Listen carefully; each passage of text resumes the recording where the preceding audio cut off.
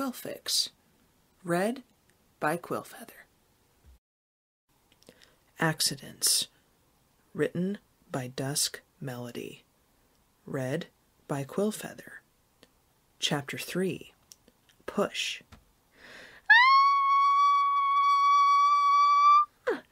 You're doing great, Fluttershy, now. Steady breathing. In, out, just like we practiced. The midwife, Cerulean Swirl, was infuriatingly calm. How. how's it going now? Fluttershy managed to gasp out as the pain of the contraction faded away. You are seven centimeters dilated, doing brilliantly. Seven? Still? I was seven four hours ago. Sweat poured down her forehead, soaking her pink mane. Applejack was sat beside her wife, holding her hoof in her own, as she had been since the labor had begun eleven hours before. Y'all are doing great, Sugar Cube. Just breathe. Fluttershy shot her a vicious glare. You tell me to breathe one more time and I'll eat your face. Any further comment was silenced as her eyes went wide. Another contraction was coming. They were only a few minutes apart now, the pain from one rolling into another, each one more intense than the one before it. Fluttershy panted as she was shown, performing the exercise that supposedly lessened the pain by breathing through it. Huh? Huh? She clamped her hoof down on Applejack, causing the farmer to wince as the contraction peaked. Oh, oh, holy Celestia! Fluttershy slumped back into the bed. She was exhausted. She wanted to sleep. Most of all, she wanted this torture to be over. She had been warned about the pain of childbirth, but had never in her wildest dreams thought it'd be as bad as this. Eleven bucking hours, and she wasn't even fully dilated yet. You're, doing great, hun. I'm mighty proud of you.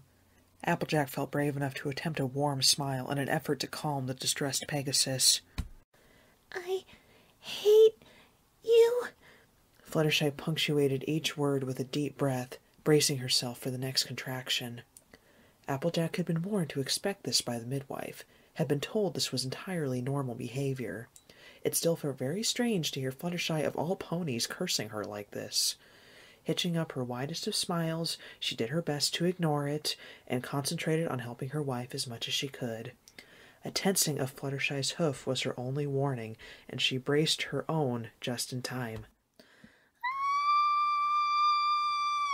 Fluttershy threw her head back and screamed, feeling the muscles around her cervix straining to push. She lashed out with her free hoof, seizing the midwife by her collar and dragging her face an inch from her own. Get these things out of me now! Entirely unruffled, Cerulean Swirl simply smiled and straightened her uniform before levitating over a glass of water for Fluttershy to drink, replacing the fluids lost through sweat. Now, now, she cooed as if chiding a naughty filly. You get yourself to ten centimeters and it'll be over before you know it.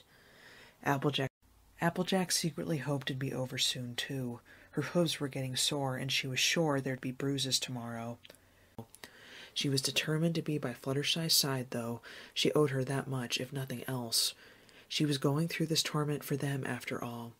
A small but welcome pressure on her bladder gave the farmer an excuse to get some air, for which she was grateful. Uh, Nurse Swirl, am I okay to nip to the bathroom? Oh, of course, Cerulean nodded with an ever present smile. We'll be here for hours yet, she added with too much glee. Applejack removed her hooves from Fluttershy as gently and as quickly as she could. She could feel another contraction coming. I'll not be long, sugar. Fluttershy barely nodded, her eyes widening as another wave of pain washed over her. Hurry back. She clenched her eyes shut and screamed once more. Applejack? Uh, Applejack scurried out of the delivery room, happy on behalf of her sore hooves that she'd missed that one. The bathroom on the maternity ward wasn't very far away, barely a minute's walk. If Applejack was honest with herself, and she tried to be, she really didn't need to go relieve herself. She just needed some space, fresh air. That's what she needed right now. Walking past the bathroom and down a little corridor, she found the little blue fire door that led to the rear of the hospital. Rearing to her hind legs, she pushed the lever with her forehoofs to open the door, then sat on her haunches in the doorway so it wouldn't close behind her. Breathing deeply through her nose, Applejack steadied herself. It was getting intense back in the delivery room, so she took a few moments to collect her thoughts. She allowed her mind to wander over the past three years as she did so, recollecting how she and Fluttershy had made it this far. In spite of herself, she smiled at the memory. It was last year, the night of their eleventh wedding anniversary, two years after the accident which had claimed Hush and Apple Kicker when Fluttershy had sprung it on her, totally out of the blue and with no warning whatsoever. They had just had sex, and in her post orgasmic high, Fluttershy was letting Applejack indulge her little fetish, namely tonguing her hooves. While Fluttershy couldn't claim to like it as much as her wife did, she had to admit it did feel nice when Applejack held her hind legs in her hooves and nibbled away gently on her hooves. It was at this precise moment, just as Applejack had the whole of her left hind hoof in her mouth, sucking and running her tongue over the soft frog, that Fluttershy dropped her bomb. Jackie? Uh huh. Applejack had just removed the left hoof and was starting on the right one her deft tongue sliding over Fluttershy's ankle, nibbling at the hard outer part as she went along. I. I want to try again. To have foals. Mm. Applejack wasn't really listening. She was lost in her own little equestria, one that included Fluttershy's butter yellow hooves, her tongue, and little else. Her treacherous brain caught up with the farmer just as she took her wife's right hoof into her muzzle and was about to suckle it as the realization of what Fluttershy had said hit her. Applejack looked up from what she was doing. Her green eyes met Fluttershy's blue ones, and she froze for a moment, warm saliva slowly dribbling down the fur of the leg still held in her mouth. Y'all want what now, sugar? Part of Applejack was hoping she had misheard.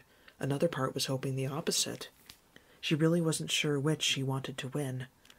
Fluttershy removed her leg from Applejack's mouth and tucked it under herself as she rolled forward to sit on her haunches. Doing so closed the gap between the mares to less than two feet, and looking square into those emerald green eyes, Fluttershy repeated what she'd said. I want us to have foals. If you want to, we should try again. Applejack nervously ran a hoof through her straw blonde mane. She didn't know what to say. She cast her eyes about their bedroom, wanting to look at something, anything other than the expectant face in front of her. Eventually, her gaze found the large, framed photographs on the bedroom wall. One was of her and Fluttershy on their wedding day. The one next to it was of Hush and Apple Kicker. Twilight had levitated them both together and taken the photograph to give them something physical to remind them of their babies. Twilight had presented it to them the day after the foal's funeral service. Neither of them had known Twi had taken it. She had conjured a camera while Fluttershy had been out from the surgery. Whenever she was at a loss over a course of action to take, Applejack found herself staring at the photo. They always seemed to give her good advice. So it was now, when Fluttershy sat beside her awaiting her answer, did she find herself yet again in silent communion with her foals, almost asking their permission to try again. Fluttershy noticed where Applejack was looking, and gave a tender smile as she extended a wing over her wife's shoulder, pulling her into a feathery cuddle. Get any good advice? Applejack blushed at the absurdity of it, her orange cheeks glowing a faint crimson. She knew Fluttershy wasn't mocking her. She had caught the Pegasus consulting the photo on more than one occasion herself. Applejack nodded, not taking her eyes away from the treasured photograph. Yeah, I reckon I did. Applejack leaned into the cuddle, kissing Fluttershy's cheek so gently she barely disturbed the yellow fur. You really want this, huh? I do, more than anything. Well, then, let's do it.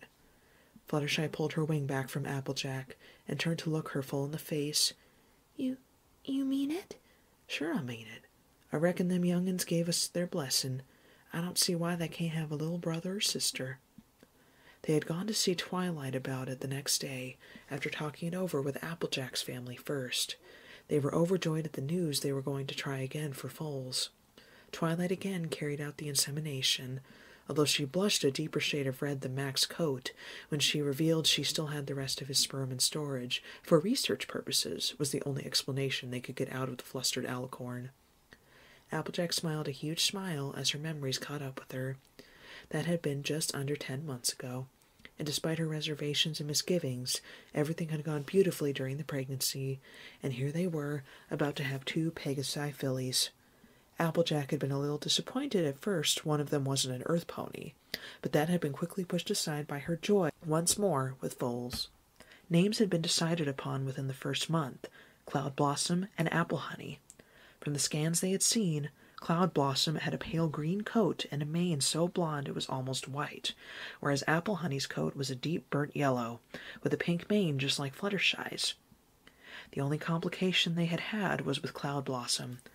In the second month, the scan had revealed the umbilical cord had wrapped itself tight around her left hind leg, stunting its growth to the point of atrophy. Both Dr. Stable and their midwife, Cerulean Swirl, had been reluctant to move it, for fear of their magic harming the growing foals. Applejack and Fluttershy had certainly been unwilling to risk it.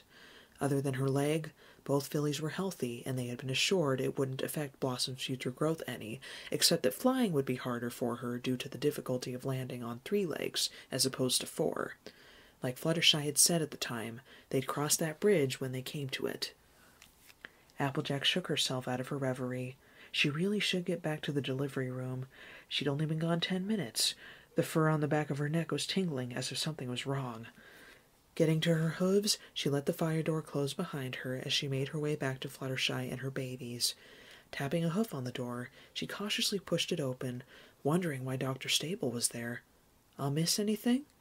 Where the hey have you been? Fluttershy gasped out, fighting back tears between her shallow breaths. What's wrong, Doc? Nothing too serious, I assure you. One of the foals, Apple Honey, I believe, has her head pressed against the opening of the cervix and birth canal. Seeing as Mom here is only eight centimeters dilated, there isn't room to push her through. Midwife Swirl and myself were just about to perform the emergency section to get the foals out before any damage is caused to them or your partner. He made it sound easy, like it was a routine thing they did all the time. How could he be so calm? They'll be okay, though, Rat. A little pregnant ball of unease had settled in the pit of Applejack's stomach, where, there, where it was busy giving birth itself to anxiety, panic, and doubt. Applejack was about to voice her concerns when she felt a soft yellow hoof connect with her own, and looked up to see a sweat-soaked Fluttershy look back at her with a pained smile. Hey, it it'll be fine. Everything will be all right. I thought I was the one who was supposed to be comforting you, Sugar Cube. Cerulean Swirl had levitated an opaque screen onto Fluttershy's chest, blocking her view of her swollen belly. You don't need to see this, honey. It can get a bit messy down there. The cheery midwife offered an explanation. Applejack felt the grip on her hoof increase as Dr. Stable ignited his horn. No need to panic. I'm just going to fire some pain killing magic to your spine. This will numb your lower body, and then we can begin. Fluttershy felt like she was melting through the hospital bed as the doctor's magic took effect, the relaxing effects numbing all the pain she had lived through in the past eleven hours. This was better than any spa break with Rarity. Dr. Stable ran his hoof over Fluttershy's distended abdomen, prodding gently but firmly at her belly his actions hidden by the screen over Fluttershy's chest. Can you feel that, Fluttershy? Fluttershy shook her head, realizing she was entirely numb from the chest down. Very well, then we'll get started. The doctor lit his horn once more, levitating a shiny, razor sharp scalpel in his magic aura.